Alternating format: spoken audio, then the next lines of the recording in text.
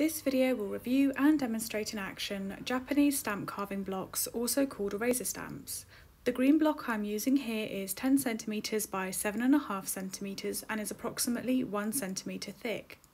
On one side it has a green colour coating and the rest of the block is white. It's made out of rubber and you can draw directly onto the surface with pencil or pen or trace an image easily onto the surface. The block is very easy and smooth to carve into. I actually really enjoyed using it as it was very satisfying to carve out the design with metal tools and a craft knife. It's so thick that you could carve into both sides, but I like that carving away the green top layer reveals the white underneath, which makes it much easier to see what you are doing. Water-based printmaking ink was easy to apply to the surface of the block and I found that it transferred to paper well with minimal pressure. You can see here that I experimented with gradient ink rolls and repeat patterns. I think these stamps are perfect for repeat patterns and the rubber shouldn't degrade with use over time.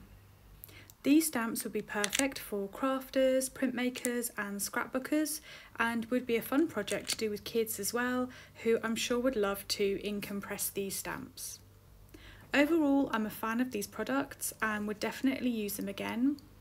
If you have any questions about them or the process, feel free to drop them in the comments section below and follow my channel on YouTube or my blog for more printmaking projects and reviews. You can find me at heathergoldiegallery.com. Thanks for watching.